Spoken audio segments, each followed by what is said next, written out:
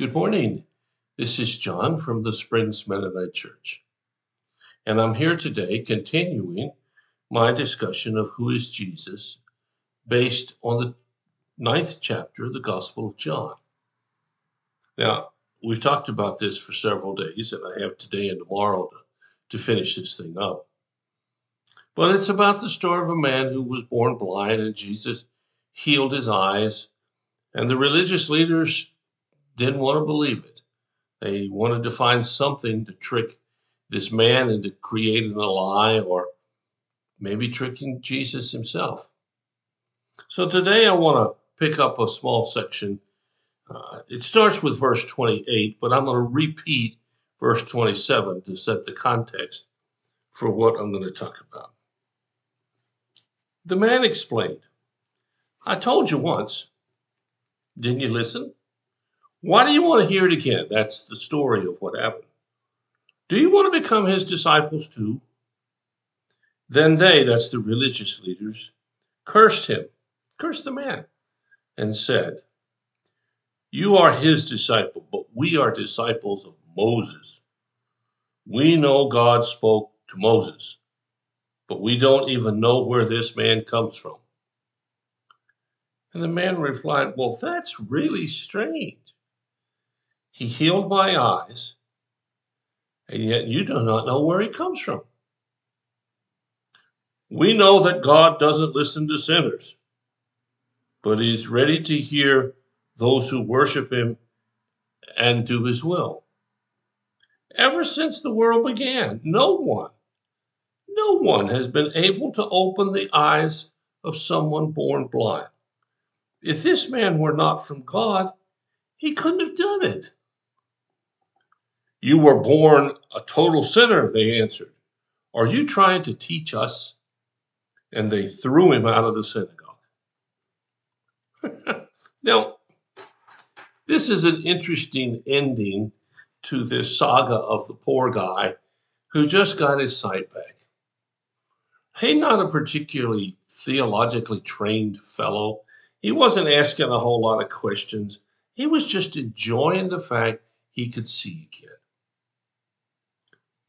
And so the, the religious leaders questioned him several times. And after the what was the last time, he said to him, What do you mean you don't know where he comes from? You're the religious folks. Of course you will know where he comes from. And they say, they said, We are disciples of Moses.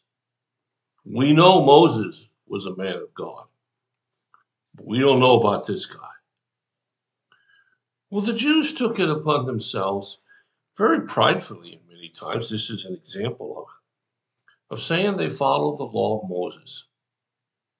And they were Moses' disciple. Moses, as you remember in Exodus, is the one who led Israel out of the bondage of Egypt, who set up the laws we find recorded in Leviticus, and, and who who led the people to the edge of the promised land. He didn't get to go in, but he led them to the, the, the very next step. So Moses is very highly thought of. And it was around Moses and his law that the religious leaders built their whole system of what you can do, what you can't do, when you can do it, when you can't do it, what's right, what's wrong, what's true, what's not true, so on and so forth. And this guy, who's nothing more than some poor guy who was born blind and now sees, has terribly destroyed their understanding of what's going on. Well, I shouldn't say he's destroyed it. He's challenged it in a way they don't know how to react. So, who is Jesus? Well, the man says all I know is he opened my eyes from being blind. And if this man were not from God, he couldn't have done it. You know, let's face it. Jesus is a miracle worker. Sometimes it's a physical miracle. Sometimes it's a spiritual miracle. Sometimes it's a miracle of organizing the circumstances so that you don't make a really stupid decision or fall down a really big hole. Sometimes it's guiding you in a direction you didn't even know you needed to go. Jesus is a miracle worker. That's who he is. Yeah, no doubt about it. That's what he did when he was on this earth. That's what he has continued to do since he left this earth. That's what he will continue to do until he comes back and the kingdom of God is reached in its fullness. This poor man who knew nothing was smart enough to figure that out. Whereas the religious leaders can't. And so when he says that, he has to have been from God. What is the reaction of the religious leaders? Do they say, well, we disagree? Do they say, well, I suppose that's an option? They don't do any of that. They get mad. They get mad. When when they are pointed out as boy, I want to use the word fraud, but I guess that's not the right word. They're pointed out as not understanding the real truth. They get mad. It says, and they threw him out of the synagogue. I have no doubt that they threw him out forcefully, quickly, and angrily. The man knew something they didn't know. He knew that Jesus came from God. And we find in other places we know that Jesus is God. And there are many people today, maybe some of you who are listening to me, that don't really know that either. You still don't. After 2,000 years of history, you're still not sure, or you've decided that that's not possible. I've got some of my kids who think that.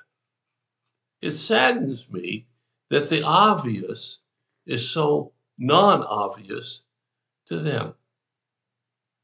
But that's no different than what happened with this blind man and the religious leaders.